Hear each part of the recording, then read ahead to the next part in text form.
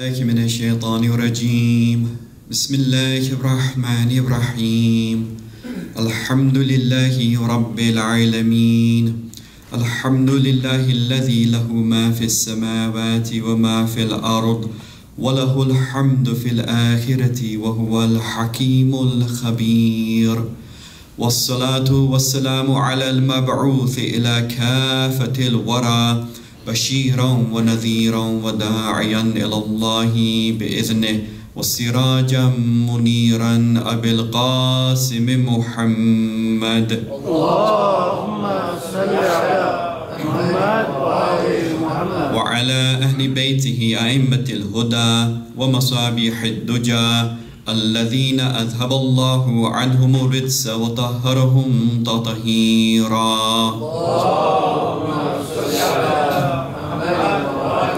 أما بعد فقد قال الله سبحانه وتعالى في كتابه الكريم بسم الله الرحمن الرحيم. قال معاذ الله إنه ربي أحسن مثواي إنه لا يفلح الظالمون. صلوا على محمد وآل محمد. اللهم صل على محمد وآل My respected elders, brothers and sisters in Islam, Salamun alaykum wa rahmatullah. Wa alaykum salam wa rahmatullahi wa barakatuh. As you heard a few moments ago, the Prophet who we'll be discussing today is Nabi Yusuf ala nabiyina wa alihi wa alayhi salam. And the story that we will be examining in relation to this Prophet concerns the topic abstaining and resisting temptations. So, inshallah, we'll be looking at this in a number of stages, but this is something that is extremely important for us all to bear in mind.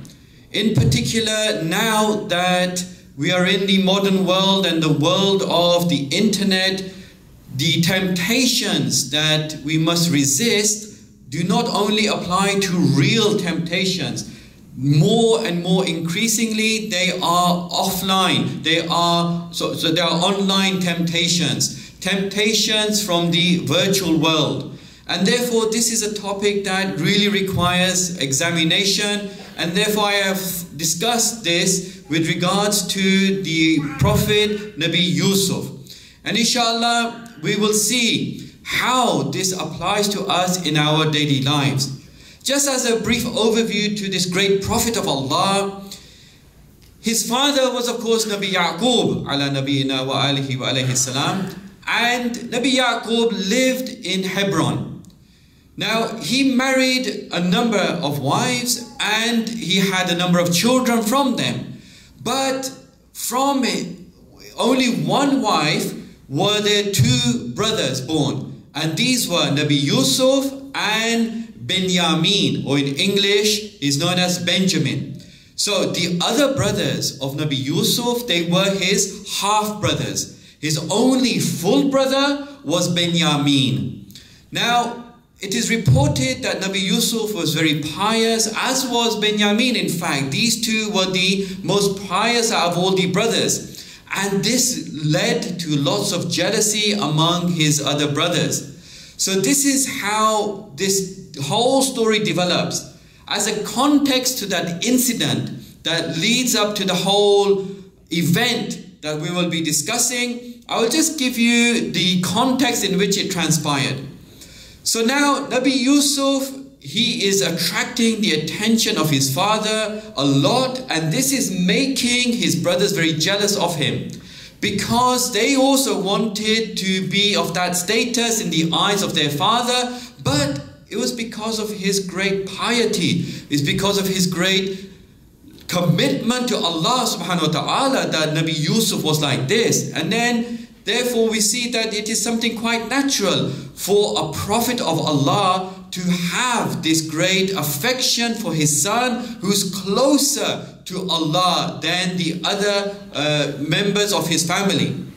So now the brothers devise a plot. They want to try and somehow get rid of Nabi Yusuf. So they take him under the pretenses of just taking him uh, for play and they convince their father to be able to take their, their brother. Their father reluctantly agrees, and now they, they plot to throw him in a well. And the idea being that somehow a caravan will find their brother and take him off to a far off land, and they will be done with him. So, this is what they do they go back to their father and they lie to him. They say that Yusuf was eaten by a wolf. So now Nabi Yaqub begins to mourn Nabi Yusuf. Nabi Yusuf is in this well. As it happens, a caravan comes along and takes him from that well and brings him to Egypt. There he is sold as a slave. And there is a person there known as the Aziz. So the Aziz is this nobleman and he buys Nabi Yusuf and he is placed in his house. So he's living in the house of this Aziz, this nobleman of Egypt. This house is very grand and his wife's name is Zalika, often pronounced as Zuleika. There's not much of a you know discussion to be had. Is it Zalika or Zuleika? But apparently Zalika is more correct. In any case, this Zalika now is where we pick up the story about resisting temptation. What transpires between her and Nabi Yusuf how does Nabi Yusuf resist the advances of Zalika?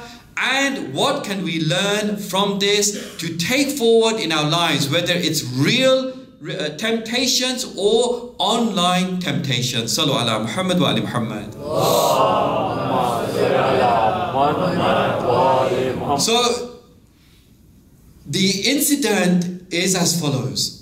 Zalika, on the one hand, is reported to have been a very beautiful woman. Nabi Yusuf is young, he's unmarried, he himself, of course, extremely handsome. On the other hand, look at the place they're in. They're in that house of that Aziz, but now they're in the inner chamber as well. Zalika locks all the doors, so no one can come in and nobody would have found out as well. She tries to seduce him. She solicits him. She advances towards him and she really wants him. Now, we must always put ourselves in the position whenever we come across these stories inshallah in another lecture i will talk about how we can use the quran in a more effective way and one of the techniques is to put ourselves in the position of these great characters.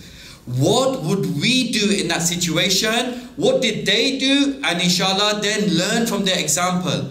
Now, look at this. So many temptations at this stage. And so now Nabi Yusuf is in this very precarious situation, is being tested. What does he do? He recites these verse, these verses that I uh, mentioned at the beginning of this lecture. The whole incident is described to us in Surah Yusuf, verses 23 and 24. He actually tells us about four strategies that we must use in order to resist temptation. Allah subhanahu wa ta'ala, through the words of Nabi Yusuf, puts forward these four strategies. What does Nabi Yusuf say when Zalika advances towards him? He's qala ma'adallah. Very first strategy is ista'adha. He says, refuge in Allah. Isti'adha is when we seek refuge in God Almighty. So this is the first thing he does. He seeks refuge in Allah. Now, what does that mean? Does it just mean saying, Ma'azallah, A'udhu Billah, Mina Shaitani Rajim? Does it mean that or is it more than that? Well, if we want to resist temptations, we must do true isti'adha. True isti'adha, part of it is saying that, A'udhu Billah, Ma'azallah, but true isti'adha is not only that. That's a necessary condition often. But it is not just limited to that. It can be even isti'adha in the mind. We don't have to necessarily say it, but true seeking refuge in Allah is actually moving away from that sinful activity. It's actually taking steps to take shelter, just like if we were to take shelter from some other danger. Let's say somebody shouts out that there's a bomb in the car park. Okay, now not to alarm anyone, right?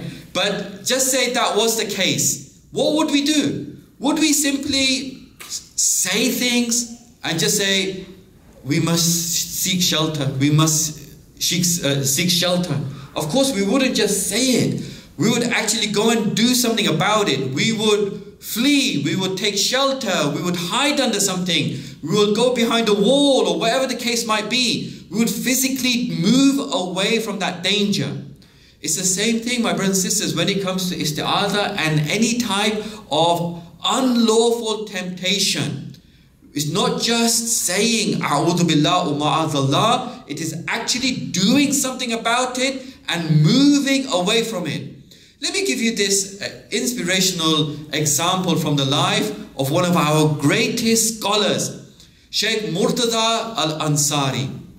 You've probably heard of this great scholar.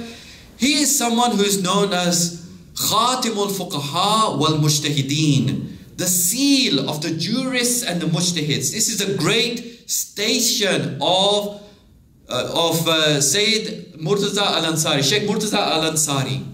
In fact, even today, his books are studied in the Hawza. His Makasib in fiqh, for example, is still studied. His Rasail in Usul is still studied today. So what happened was, one of his students has this dream. In his dream, he sees shaitan. And shaitan has in front of him all of these robes.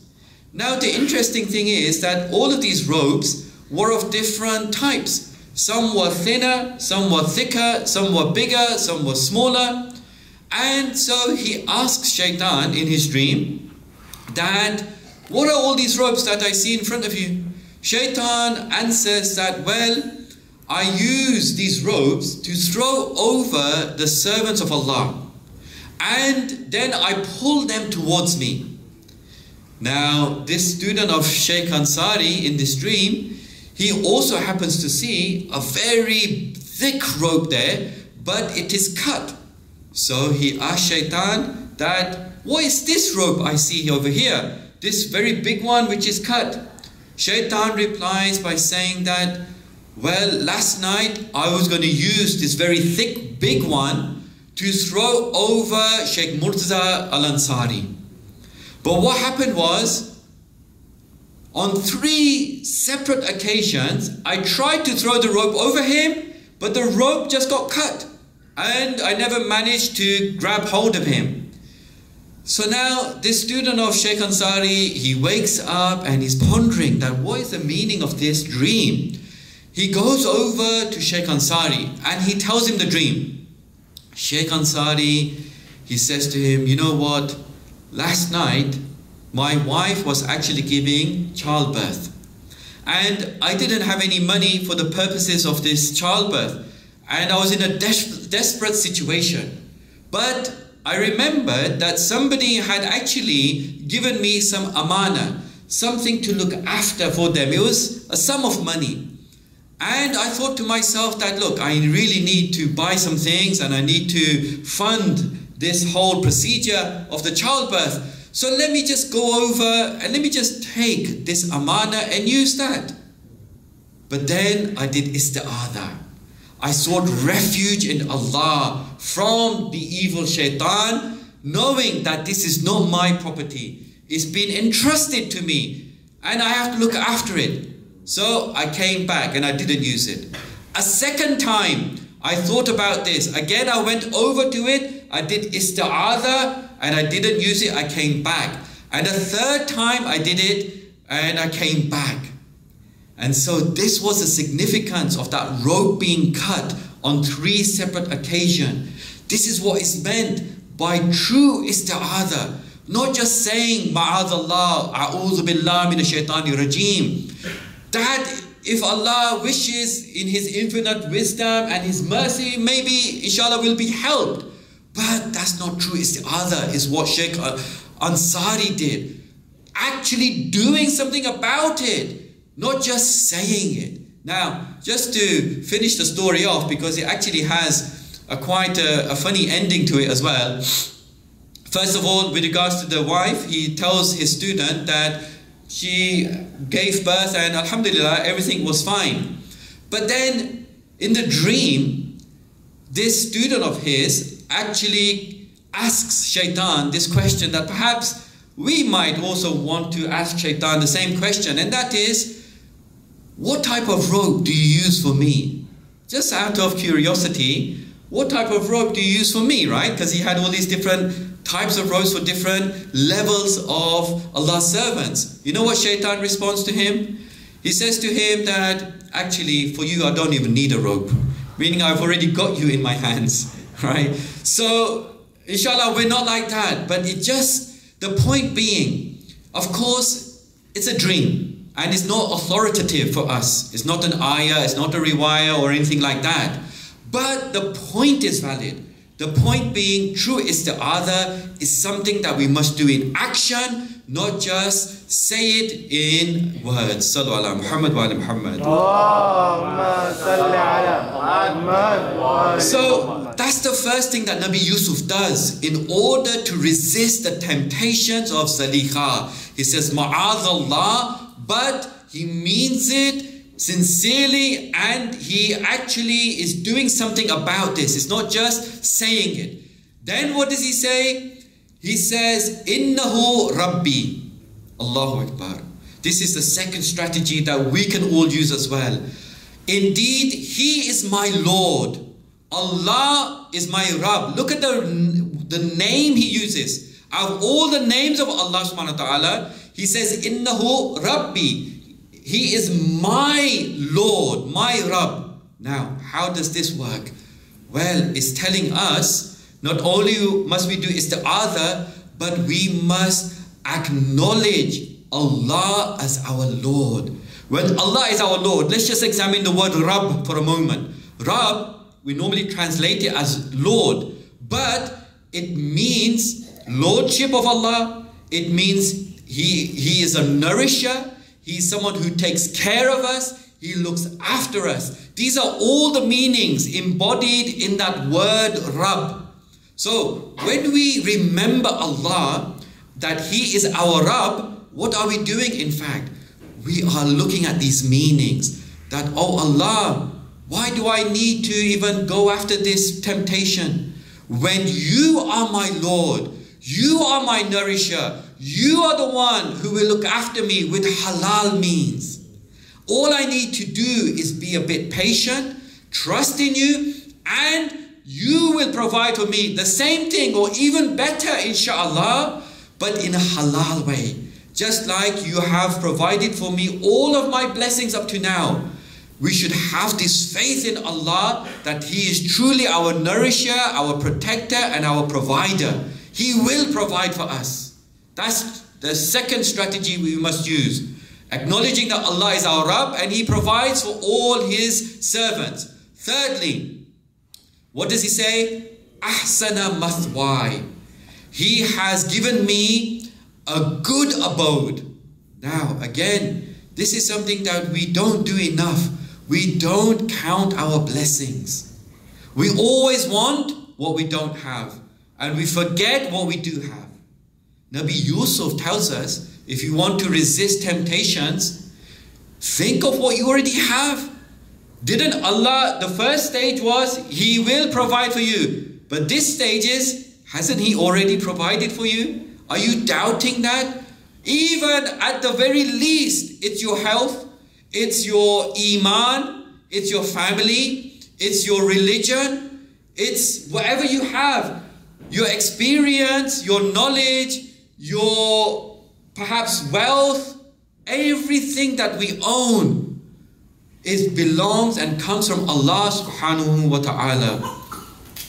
Now, when we think about this, ahsana mathwai, what Nabi Yusuf is doing is thinking about that position he was in. Remember I mentioned earlier when I put the whole incident into context, where was he? He was at the bottom of a well. Now where is he? In this grand house. Okay, he's he's there. He was taken there, separated from his family. But look what he's doing. He's counting his blessings. He's not thinking about all that he doesn't have. He was with such a great father, Nabi Yaqub. But still, he's counting his blessings. Let's just think for a moment what blessings we have. Why do we become sometimes so ungrateful? We just want more and more and more. When we want more and more and more, we are opening the door to temptation even more because we're never satisfied. We want more, and then when that temptation comes and it's in the haram form of it, then we want it because we constantly want more and more and more. Sometimes we just need to say, Allah, you have given me so much. I'm going to suffice with that, inshallah. Sallu ala Muhammad wa ala Muhammad.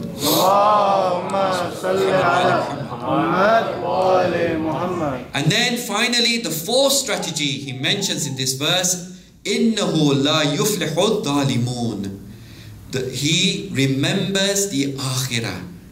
He says that the dhalimun, the unjust, the wrongdoers are never prosperous. So what he's doing here is thinking about the consequences. Let's think about that as well. Whenever we're faced with online temptation, real temptation, whatever it might be, think of the consequences. There is hisab and kitab. There is accounting to be done. Nothing goes, goes without any accounting. And he's thinking about the akhirah there is going to be this accounting. But I would like to say, not just for the akhirah, let's think about the consequences in this life. Let's think about our own dignity. Let's think about the level that Allah has created human beings at. We must have that sense of self dignity that I'm not going to lower myself to this. Secondly, the consequences to our family. What if anybody finds out or even if it's not that, what if somebody was to see me right now? At the very least, Allah is seeing me. At the very least, Imam Zamana, Ajalallahu Ta'ala Faraj Sharif. He's seeing me. What if my parents were to see me right now? What if my community was to find out? What if this got out? What, it, what would it mean to my reputation, my family's reputation, reputation of the community, reputation to Muslims, to the followers of the Ahlul Bayt? What does this uh, mean if this gets out? Because there are uh, people who will be very upset with me, they'll be very disappointed with me if this ever got out. Let's think about those consequences. Then there's the spiritual consequences to my soul. What am I doing here? I'm really blackening my soul for my akhirah, for my spirituality. And then, you know, we expect for all of our du'as to be accepted on the night of Qadr, for example. We expect to be at that high level of spirituality in the month of Ramadan. We expect it to have this effect on us of, you know, لَعَلَّكُمْ تَتَّقُونَ. The fasting is there for us to raise in our taqwa and God consciousness. Well, it comes with actions including resisting temptation. Sallu ala Muhammad wa ala Muhammad. Okay, so now these were the strategies that Nabi Yusuf used. Let's develop this a step further. Shaitan. Shaitan and his way of working with people. What happens here? We mentioned Shaitan, the way he tries to tempt people, but now let's look at it in a bit more detail. The first thing we need to know is that Shaitan doesn't force us to accept that temptation. He doesn't force us to go that direction at all. All he does, and these are not my words, these are the words of the Quran, is that, is that he only invites us. In Surah Ibrahim, verse number 22. What are we told there? That shaitan on the day of resurrection, what will he say? He will say that I never had any sultan over them, meaning I didn't have any authority over them.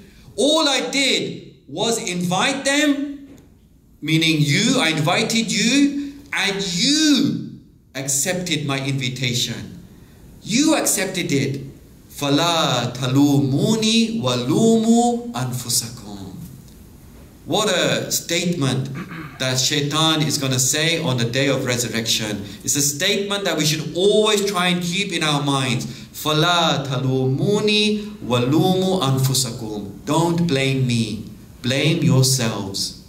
Don't blame me. All I did was invite.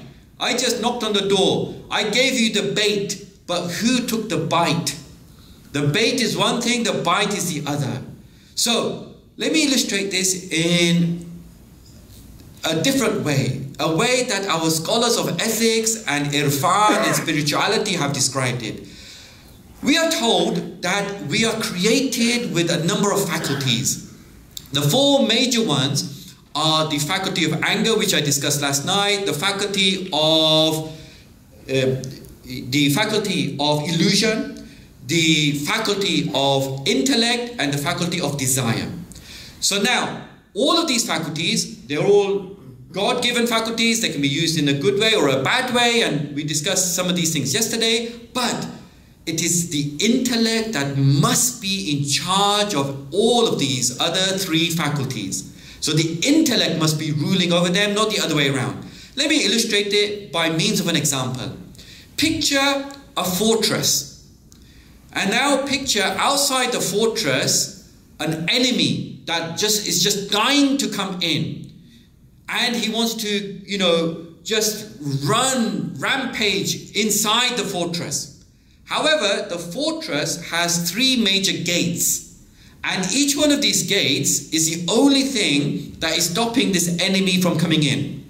Now, what's holding these gates shut is an army.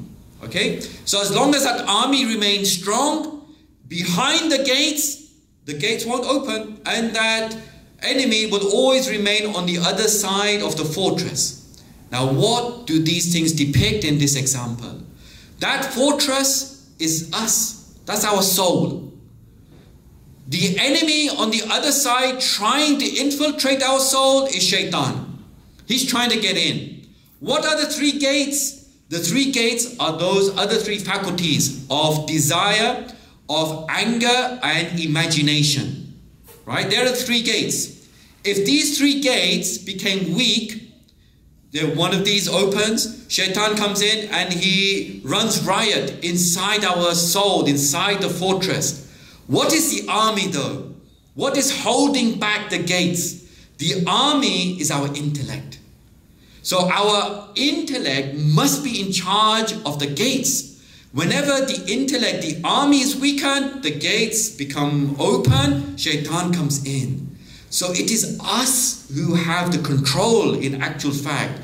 It is us who will either open the gate for, to him or close it. So this is what happens with temptations. We have to bear this in mind. Our, our imagination is often running riot. It plays tricks on us.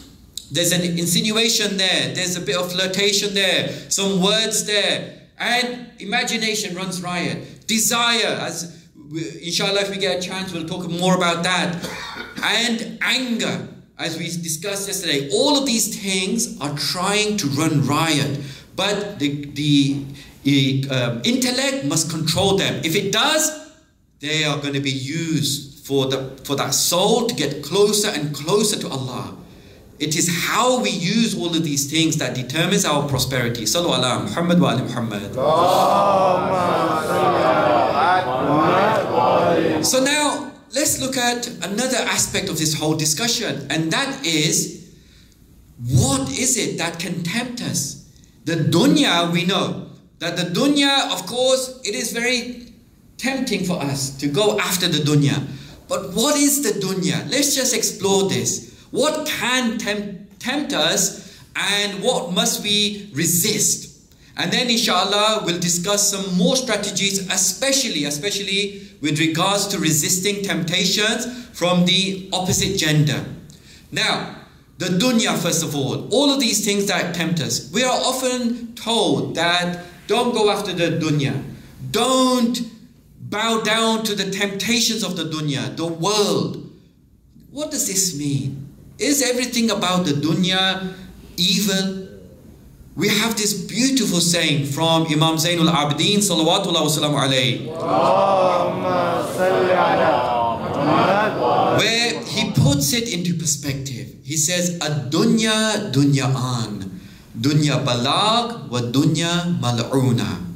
Allahu Akbar. What a beautiful saying. He says the dunya is of two types. Don't just think the dunya is all bad, all worldly things are bad. No. Ad-dunya mazra'atul akhirah, as the Holy Prophet tells us, it's a plantation for the akhirah. It's a means to an end. Anyway, he says the dunya is of two types. Dunya balag and dunya mal'una. Dunya balag means the world that is a means for us to attain something else. It helps us to attain success in the akhirah. That is looking at the dunya in a very positive sense.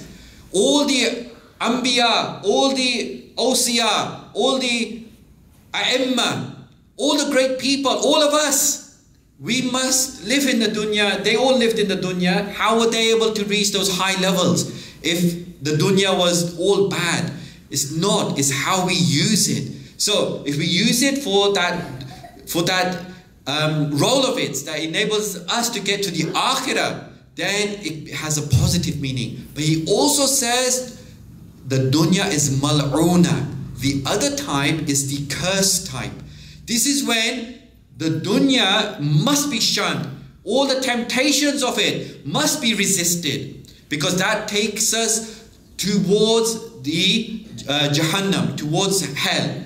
So now we have this wonderful interpretation of this by Allama Muhammad Bakir al Majlisi. I'm sure many of you have heard of him. He's a compiler of this phenomenal work, Biharul Anwar. And anyone who goes to the Hawza is totally indebted to his brilliant collection of ahadith. 110 volumes of the hadith of the Ahlul Bayt. It took him and his students over 30 years to compile this work. And we are all really indebted to him, whether we are students of the Hawza or not, because we have all benefited from this work. May Allah grant him and all the ulama a lofty status, inshallah. So, in Bihar al Anwar, not only does he compile these ahadith, but on many occasions he writes commentaries on the traditions of the Ahlul Bayt as well. And in one point in this work, he writes a short explanation about this tradition from Imam Sajjad that the dunya is of two types the positive type and the negative type. What does he say? He says that in fact, the dunya is the sum total of whatever takes you away from Allah. It's the sum total of whatever takes you away from Allah. And the akhirah is the sum total of whatever brings you towards Allah. Now, he then goes on to give some examples. So, let's say, for example, let's take money. Normally, what would we normally regard money as? Dunya or akhirah? Normally, it's a dunyawi thing, isn't it? Right? It's a worldly thing, money. But based on this, money can be your akhirah. Money can also be your dunya, of course, but it can be your akhirah. How can it be your akhirah? What about knowledge? Would you say that's a dunyawi thing or an ukhrawi thing? Usually we would say knowledge, brilliant thing, is something to do with the akhirah. Knowledge can be a dunyawi thing based on this explanation. It all depends on whether that thing is taking you closer to Allah or moving you away from Allah. So money, a so-called worldly thing, but somebody uses that money in the right way. They are earning for a living so that they can provide for themselves and for their family, so that they can support Islamic projects, so that they can help the needy, they can give to charity. How is that a worldly thing now? That is an ukhravi thing. That is a thing that will benefit them in the akhirah. It gets them closer to Allah. But of course, somebody is just after money for the worldly benefits, more and more and more, simply to be, have a luxurious life and to accumulate more and more wealth. That becomes a worldly thing. Knowledge. If somebody gains knowledge, simply to show off, simply for worldly reasons, for status, so that people say this and that about him. That becomes a worldly thing. But now, using that knowledge for the services of Allah subhanahu wa ta'ala, to help people, to help himself and others get close to Allah, it becomes a ukhravi thing. Sallu ala Muhammad wa ali Muhammad. So it's all to do with how we use the dunya, our intention must be pure, and the use of it as well. So it's the golden formula. The intention, what we are going after that thing for, the motive behind it, and then how we use it as well. And therefore, the temptations can be of all different types. It can be monetary, it can be status, it can be knowledge, it can be a member of the opposite gender, it can be whatever we want to describe as our dunya. Our dunya is that thing that takes us away from Allah subhanahu wa ta'ala. Sallu ala Muhammad wa Muhammad. Okay, so, so now inshallah I'd like to gradually bring this lecture to a close by putting forward some strategies, especially to resist temptation uh, from the opposite gender.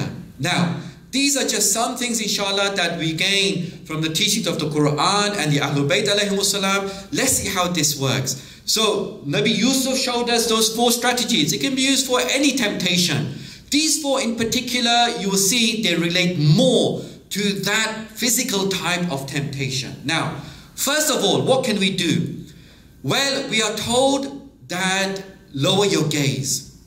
Eyes are one of the primary gateways to our emotions. The eyes, if they see it, that's when it has an effect on the heart. It has an effect on our emotion. But if we are lowering our gaze, then we are skipping that whole that whole potential of this thought coming to us and then taking it further and further and further. So we are told that قُلْ لِلْمُؤْمِنُونَ يَغُضُّ مِنْ أَبْصَارِهِمْ that they should that they or uh, min absarikum that yaguddu min absarikum means lower your gaze lower your gaze because that is a that is a gateway towards to your heart and to your emotions so that's one thing try let's try our best not to look at anything which Allah is not happy for us to look at inshallah like I said if we nip it in the bud by not even looking at it then we have gone a long way to resisting temptation. So lowering the gaze. Secondly, we must be very careful about language and flirtatious behavior. So it's not always, you know, just language, it is also behavior. Often this won't be from mu'mineen, this will be from the other side. But we must not engage in it. We must not encourage the other side. So the other side says something a little bit flirtatious, says something that might spark something in us. Okay? So we don't have to take that bait and you know just go into it and now respond with a flirtatious comment, with a flirtatious remark. We have to be very careful of what we say as well. This is a primary way to resist temptation and all of these things, of course, in particular in this month. This month, we are already training our souls so much. Look what we are doing in this month. We are resisting the bare necessities of life. Food and drink and those other things are what we need in life to survive. We are resisting those. So why can't we resist those other things? We can and we must. Inshallah, even after Ramadan. Ramadan is a primary training ground. It's that gymnasium for the rest of the year. And this is what we are training our souls to do when we talk about developing taqwa, that fortress of self control around our souls that prevents us from committing sin. This is what we are doing. So, surely, if we are abstaining from food and drink, we can abstain from these type of temptations. We are told in the traditions that the true fast is not just fasting and abstaining from food and drink, The true fast is fasting of the eyes, is fasting of the ears, of the tongue, of all of our body parts. That's when we will gain the true benefits, especially on the nights of Qadr. And we will inshallah see those benefits continue after Ramadan as well. Okay, so now, making sure that we don't engage in flirtatious behavior and language, even if we never started it, even if the other side started it. Also, we are told that be careful of touching. Now, this type of touching can take, for, take the form, eh, can take many different forms. It can be just, you know, rubbing past someone. But what I'd like to point more to is shaking hands. Because it's something that is, of course, is very, very common in our culture. Shaking hands. What do we do here? Because it's part and parcel of the culture. Well, there are a number of things that we must do. First of all, we are told, and the, from our traditions and also from the ulama of spirituality and akhlaq, that when you have skin to skin contact, something happens, okay? Something happens that it might not lead to anything haram, but it could well lead to, to the haram path. So, if we avoid that, then we are resisting that temptation. Now, when it comes to shaking hands, what do we do?